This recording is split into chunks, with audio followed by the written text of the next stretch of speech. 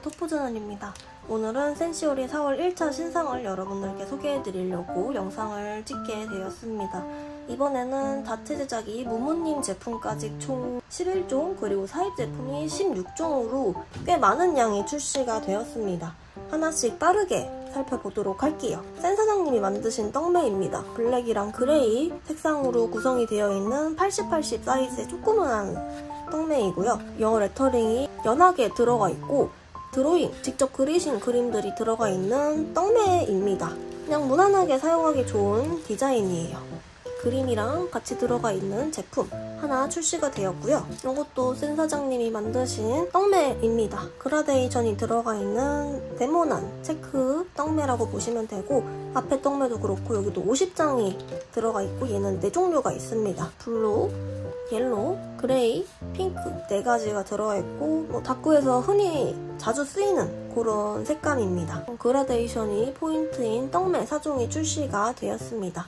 이거는 센사스님이 직접 그리신 만다라라는 제품인데요. 원형 모양의 만다라 문양들이 들어가 있고 두 가지 디자인입니다. 첫 번째는 이렇게 조금 더 동그랗고 내부에 뾰족뾰족한 그런 무늬들이 있고요.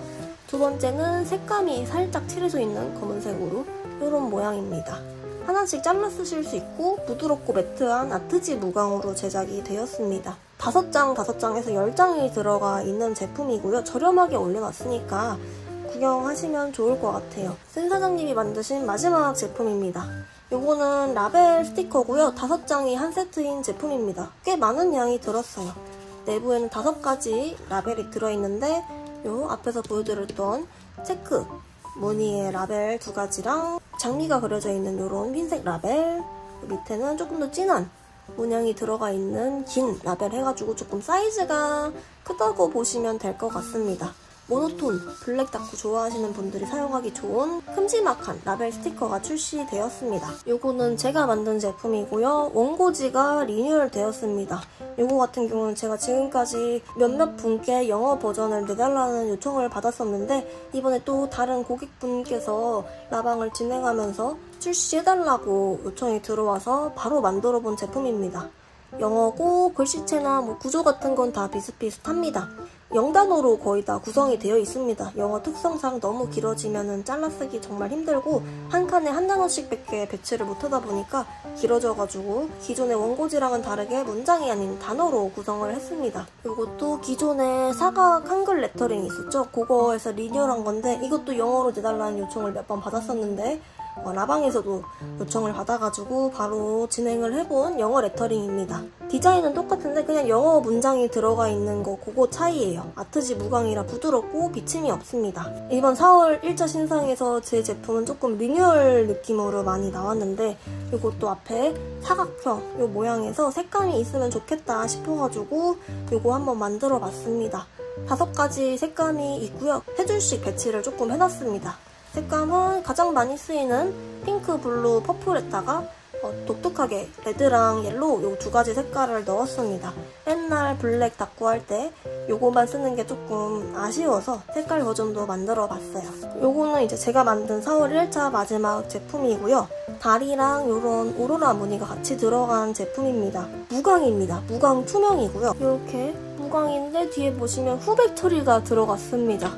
드디어 센시어리에서도 무광 투명 후백 스티커가 출시가 됐는데 이게 곧 첫 번째 제품입니다. 후백이 없는 제품들은 조금 비침이 있고 굉장히 연하다는 단점이 있어서 그걸 조금 보완하고 싶었는데 무광 후백 투명 스티커를 제작하는 업체를 찾게 되어 이번에 제작을 해봤습니다. 한 장은 제가 이미 썼는데 세 장이 한 세트인 제품이에요. 사입 빠르게 한번 살펴보도록 하겠습니다. 첫 번째 제품입니다.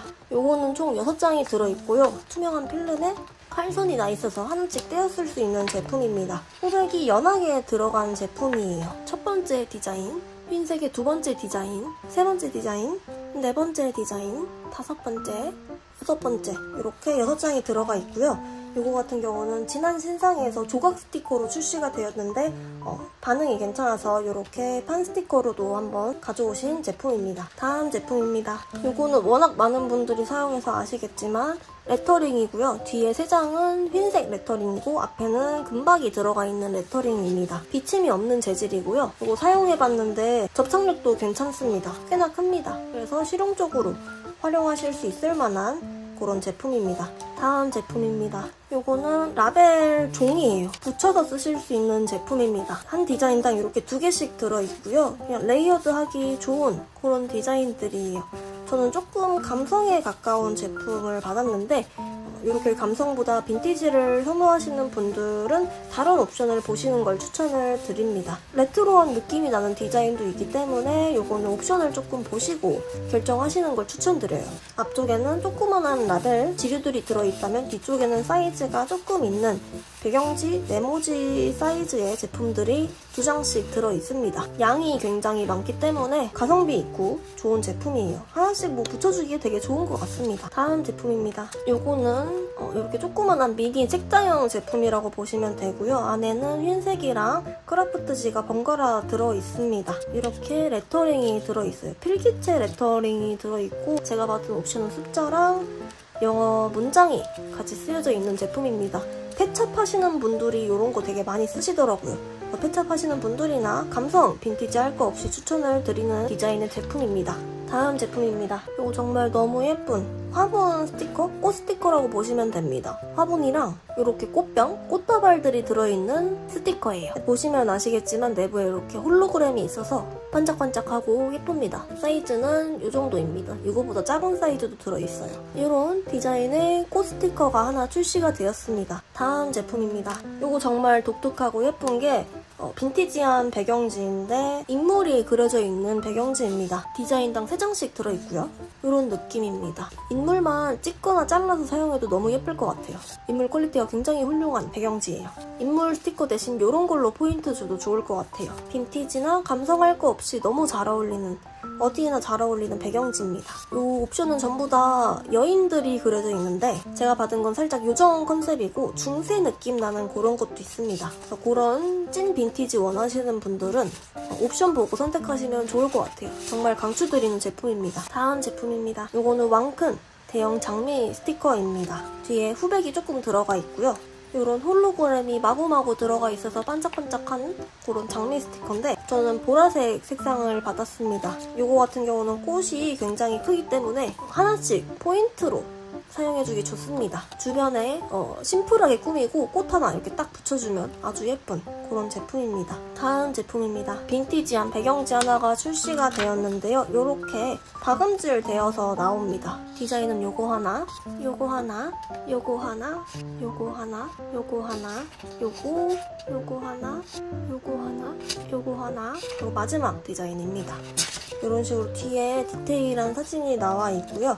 이 제품 같은 경우는 영어 레터링이 잔뜩 쓰여져 있는 제품이라고 보시면 돼요. 옵션마다 디자인은 전부 다 다르지만 기본적으로 영어 레터링이 쓰여져 있는 제품입니다. 다음 제품입니다. 이거는 한 디자인당 두 장씩 들어있고요. 보시면 모양이 이렇게 불규칙한 네모 모양이 아닌 종이입니다.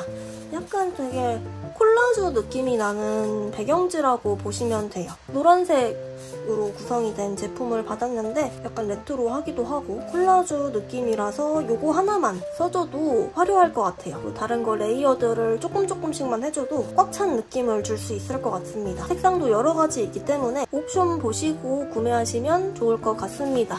다음 제품입니다. 이것도 반응이 괜찮았던 인물 스티커인데요. 사이즈가 굉장히 귀엽습니다.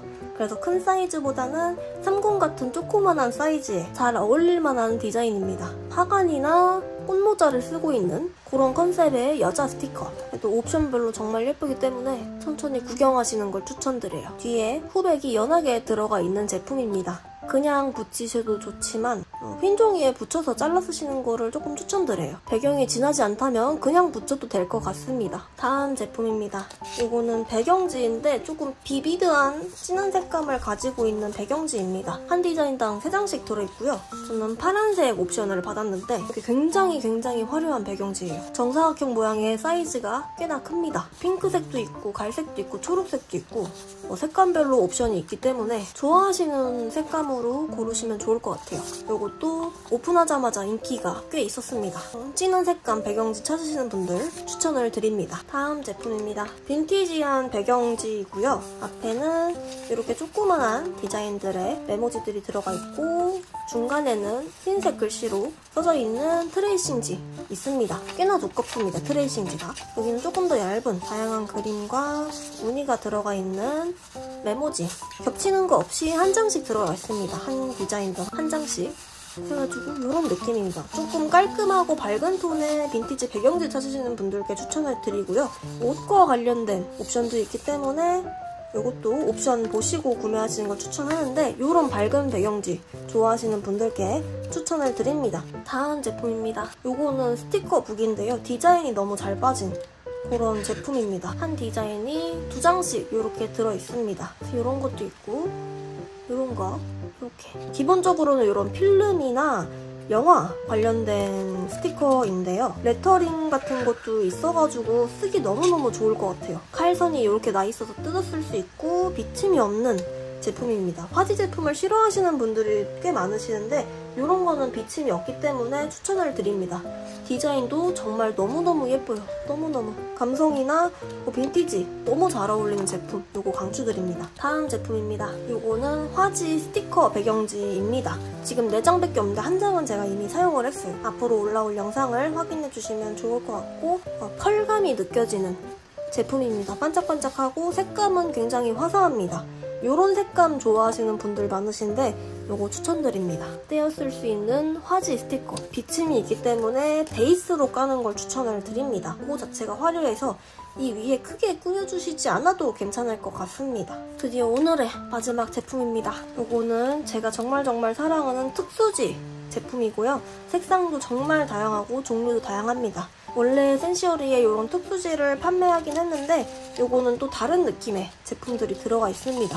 저는 조금 진한 색감의 핑크색 옵션을 받았고요. 이런 그물 모양 그리고 정말 손이 자주 가는 눈송이 근데 보시면 아시겠지만 눈송이인데 이거 앞에 한 장은 흰색이고 뒤에는 분홍색입니다. 그래서 골라 쓰실 수 있어요. 이런 망사도 들어가 있는데 뒤에는 핑크색, 앞에는 화이트로 되어 있어요. 뒤쪽에는 특수지들이 들어가 있는데 엠보싱이 들어가 있는 종이 두 장이랑 진한 핑크색 두 장, 소세지 색깔이라고 하나요? 무슨 색인지 모르겠는데 소세지가 떠오르는 이런 색감의 종이 해가지고 종이류는 총 세 종류가 들어있고 앞쪽엔 전부 다 특수지로 구성이 되어 있어요. 투프에픽 세 가지를 골라보도록 하겠습니다. 저는 이렇게 세 가지를 골랐는데요. 마지막에 보여드렸던 이 특수지 너무 예뻐가지고 하나 골랐고 중간에 보여드렸던 인물 배경지 정말 인물의 퀄리티가 우수하기 때문에 이거 추천드리고 싶어요. 마음에 들어가지고 이거 하나 골랐고 마지막은 스티커북의 퀄리티나 디자인이 너무 우수해서 이거 골랐습니다. 오늘 이렇게 센시어리의 신상을 여러분들과 살펴봤는데요. 신상은 이미 오픈이 되어 있기 때문에 여러분들이 가셔서 원하시는 제품을 고르면 좋을 것 같습니다. 천원 할인 쿠폰을 또 증정을 하고 있기 때문에 그거 활용해서 조금이라도 저렴하게 구매하시면 좋을 것 같습니다. 그럼 오늘 영상은 여기까지 하고 저희는 다음 영상에서 뵙도록 하겠습니다. 안녕